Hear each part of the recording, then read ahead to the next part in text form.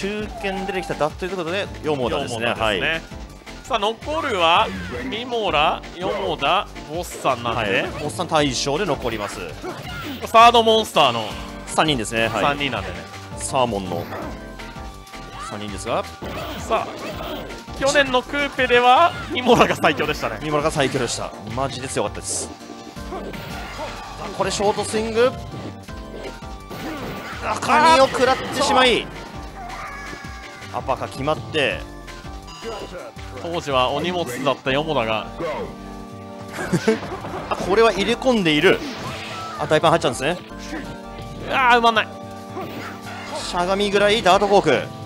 ヘールうううわ今投げしけ一瞬怖かったですね。埋めていったが前風呂。高い。けどうきつい。三村瀕死だが起死回生の吹き上げが。ブロって勝ったらよもだ。おっさん温存